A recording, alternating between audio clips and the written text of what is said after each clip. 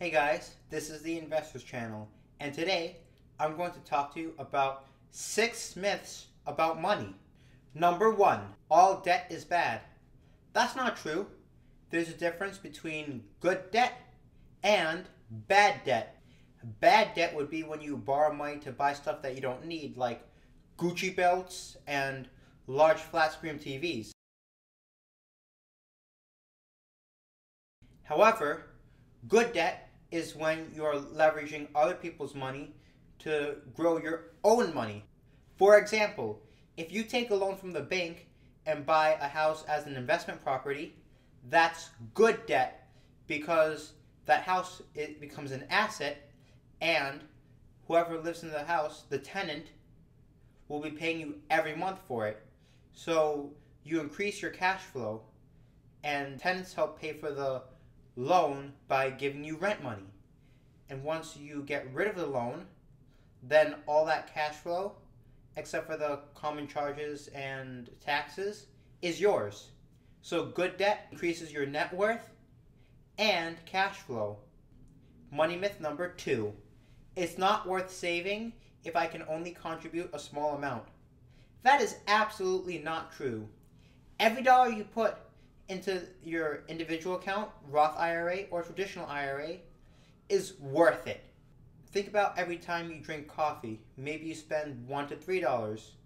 Let's say, okay, let's say you spend one dollar a day on coffee. Instead of buying coffee, if you save that dollar every day for a month, then at the end of the month it becomes thirty dollars that you saved. And if you save a dollar every day for 10 months straight, then you save $300. It's a good amount of money to start off with to put in your individual account or Roth IRAs. You can still buy some shares with 300 bucks. Also, you some of you guys might be saying it's not enough money or I don't have money. Guys, you have money. It's what have you been doing with it? As they say, it's not how much you earn, it's how much money can you hold on to. Also, guys, when you get your paycheck, pay yourself first. That means out of the paycheck you get, you already allocate a certain amount to your investing accounts.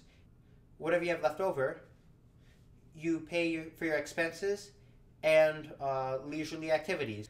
Myth number three credit cards should be avoided. Um, that's actually debatable. For some people, if they have an overspending problem, then yeah, they may want to avoid credit cards.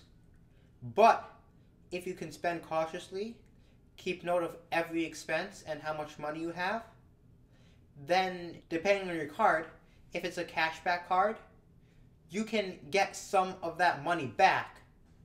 Some people also prefer points, and you can use it for free travel, like when you visit your relatives. Anyways, guys, I'm going to link a video down in the description on how to make the credit cards work for you. Myth number four. The stock market is too risky for my retirement money. Maybe you find stocks a bit risky. So in that case, you can invest in index funds, which don't go bankrupt. They they don't go to zero like S&P 500.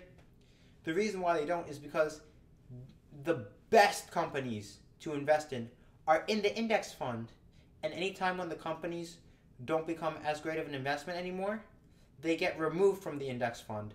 Sure, you guys might have to pay a fee for the index funds, but they're much better than savings accounts because you'll earn more than the interest rate in the bank. And also, guys, there's risk in everything in life. By not investing, you're also taking a risk.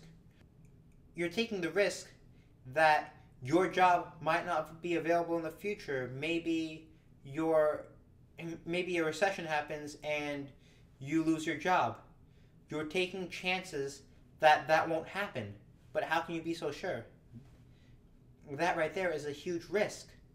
A bigger risk than investing in the stock market or real estate. Money myth number five. I'm too young, so I don't need to start saving for retirement now. Well, the sooner you save, the better. The sooner you open your IRAs, traditional and Roth, the better. Because think about it. As you get older, when retirement age approaches, would you rather have more money or less money? Also, if you start young, you'll have more time for your money to work for you and start compounding in the form of dividends.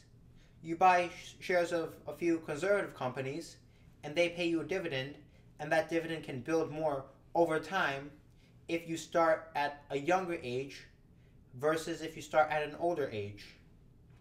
However, guys, if you are a bit older, that's not an excuse either. Because if you start investing now, then you'll have more money than you would have had if you didn't invest at all. And guys, I want to take a look at an example together that illustrates my point.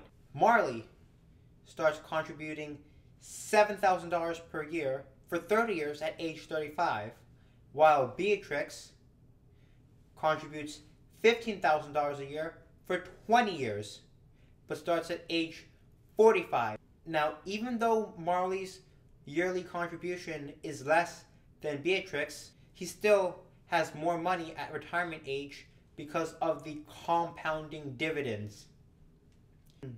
So now Marley has $50,000 more than Beatrix. Myth number six. There's no way to know how much money you'll need until you're in retirement.